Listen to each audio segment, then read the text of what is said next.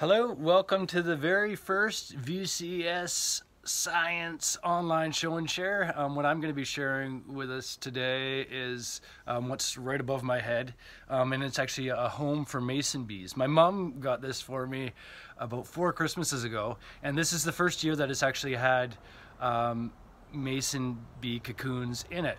So you can see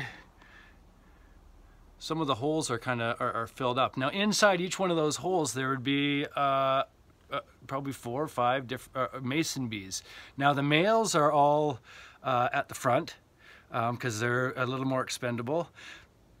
Uh, and the females are at the back. And the males will emerge uh, first, and, and they only live for about only live for about two weeks. And then after the, the females, they live for about six weeks.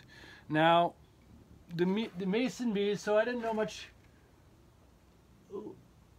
I didn't know much about them. I didn't know much about them, and apparently the, the bees that we have that live in our area are called the blue orchard mason bees. Uh, and they look an awful lot like a housefly. Um, now that I know what they look like, I know that I've seen them before. Here's a picture of what they, of what they look like.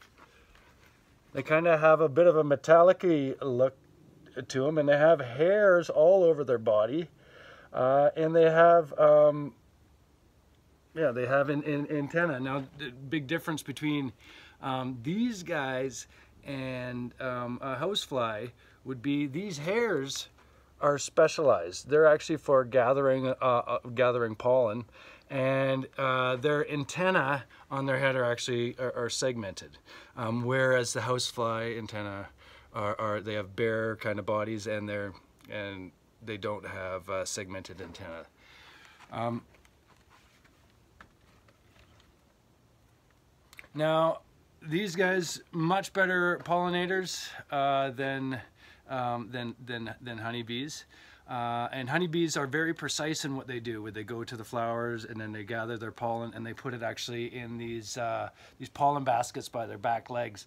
But uh, but those those bees they fly. They're like a they're like a, a, a, puppy being released into a dog park for the first time.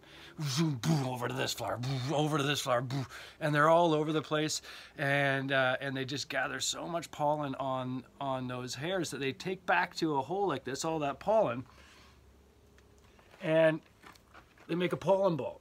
Now they put the pollen ball in there. I don't know if you can really. No, there it is.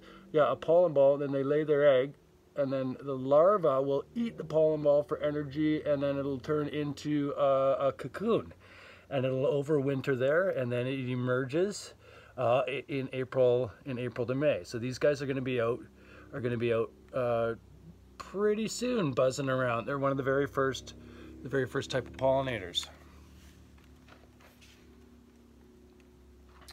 Um, So now that we know a little bit about the mason bee,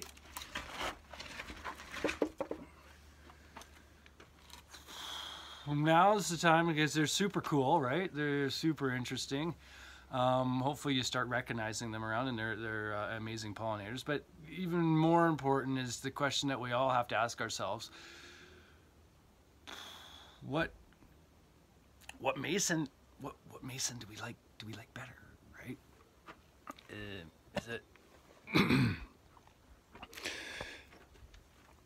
is it the mason